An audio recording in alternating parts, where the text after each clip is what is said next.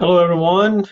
Welcome to this year's last T3 video technology tips with Tim. Uh, this is always one of my favorite sessions because besides giving away our regular monthly door prize, we also will be giving away our grand prize, which is the touchscreen Chromebook. Again, uh, if you submit an answer to a correct answer to the secret word for this video, it will be eligible for this month's prize and your name will go in the hat again for the touchscreen Chromebook. So let's go ahead and hop into these resources. And I have uh, three resources I want to share with you here today. First of all, I want you to know, and you maybe have heard of this, but uh, Gmail is going to get a big facelift. Uh, I have a link here to a document that kind of shows you, well, does show what's going to be new in Gmail. It's not available yet for our school division accounts. It will be rolling out here soon. Uh, I assume probably over the summertime, because uh, what they've done so far is made it uh, available for personal accounts, and then they're going to let it roll out to G Suite for Business and Education. So what I'm going to do is I'm going to go ahead and pull in a window here. Hopefully you'll be able to see this. Okay, here's my personal Gmail from another browser. And uh, what the way you can access the new Gmails, if you go to the gear here in the upper right, if I click, this first option is try the new Gmail. When I click there, you will see how it changes. And I'll go ahead and point out just a few of the highlights of the new uh, interface. All right, first of all, here as you look at it, we can close this out for now. As I go across my emails, if you look over to the far right, what you'll see is you'll see three buttons right away. You can see you can archive directly without even opening email up now or checking it. Uh, you can delete it directly, or you can also mark it as unread. Again, you'll see these icons pop up as I go across just the subjects. Okay. You'll notice over here that the compose button looks a little bit different. Uh, the other thing that you have here, if I go to my gear, I have a my display density. I have three different ones. I have default, which I'm on now. I have comfortable, I'll do okay. All right, and notice there's really not much change at all. Matter of fact, when I do that, I really can't see a whole lot. If I go back here, if I choose compact, I'll hit OK. And compact makes it a lot uh, tighter there. So you have those different options there. And I think the uh, when it comes to display density, you know, the default, I believe, is just comfortable.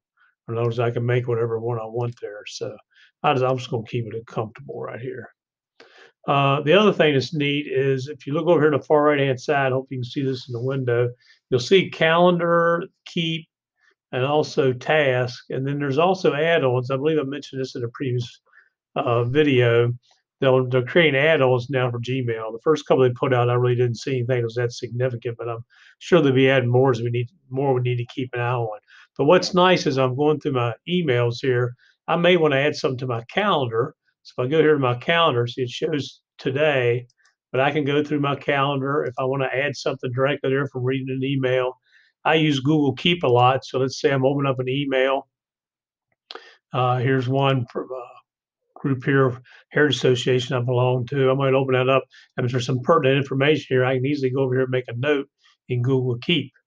All right. And I can, like I said, also add to task. So I really like this option here.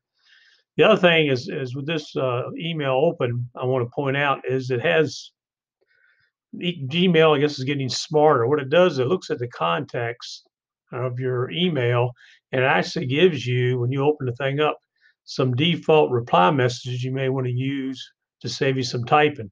So this uh, indicates or, or, realizes that it's asking me to do a task. And so if I want to go and click, I'll take care of it, Okay, it automatically just puts it in a reply, I hit send, and off it goes. So uh, this is uh, a nice little aspect of the new Gmail that I really like as well.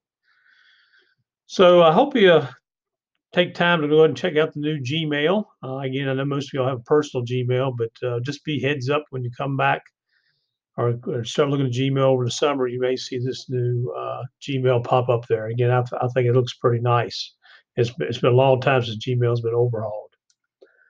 Okay, uh, the next thing I want to go and point out is this was Deborah Custis shared this with me. Uh, this is an online Venn diagram tool. It's it's really neat. Uh, you can come in here and put down your name. Uh, let's say I want to compare, uh, I'll do the classic apples and oranges.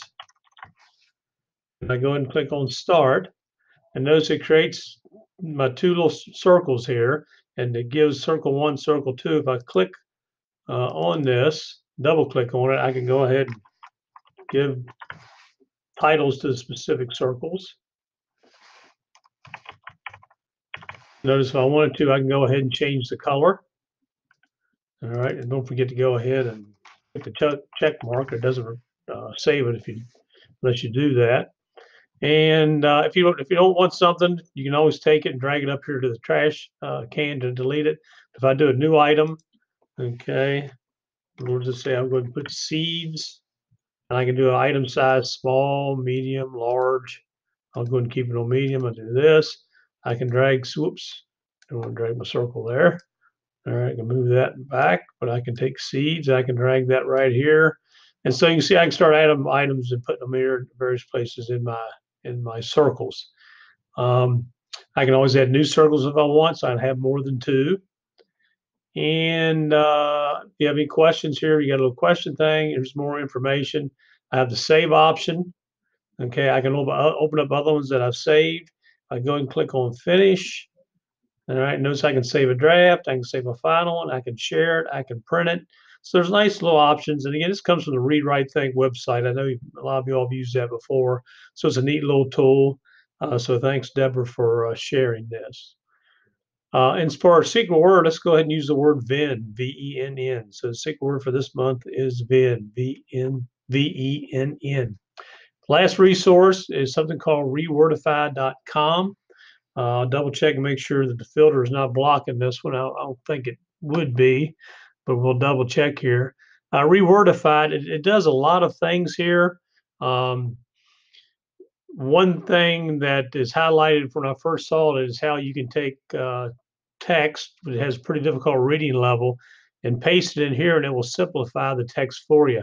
The best thing to do is there's a little demo link right here and it says welcome to the demo and I'll just kind of go through some of it here real quickly but I hit next and notice here this is uh, English text uh, that's pasted in here. And obviously it's it's it's very difficult uh, to read.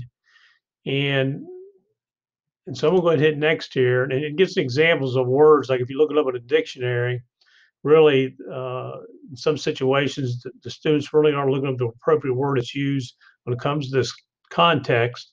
So what you do is you use the word here uh, or the reword, rewordify text button in order to simplify things, simplify things for you. Uh, and so I gave a couple more examples here how some difficult some of the words are. So if I click rewordify text, see what it does is it takes these difficult words and then it puts in words that would be easier for people to read. And so, for example, WAIF, W-A-I-F, here they change it to the poor homeless child. And if I click on this, it says, you know, here's poor homeless child, but this is the original word. And if I click learn this word later, it adds it to a list that I can go ahead and create that I can study and learn this word. So I'll click it again. And it also has, uh, I can hear the word if I click on that. So this is just touches the surface of what this website can do. Uh, again, you can create your own word, word list to learn, and there's all different kinds of options in here. So please take the time to check this site out. I think it's uh, pretty interesting. And the article I saw it in uh, gave it very good reviews. All right, again, thanks again for uh, watching the videos this year. Hopefully, got uh, uh, some good resources used throughout the year. I hope everyone has a great summer. It feels kind of weird here wrapping up in May, but it is nice. Uh, look forward to seeing everyone and sharing videos next year. But everyone have a safe and relaxing summer and I'll be sharing who the winner is for the door prize this month and who the grand prize winner is for the touchscreen Chromebook soon. All right, take care.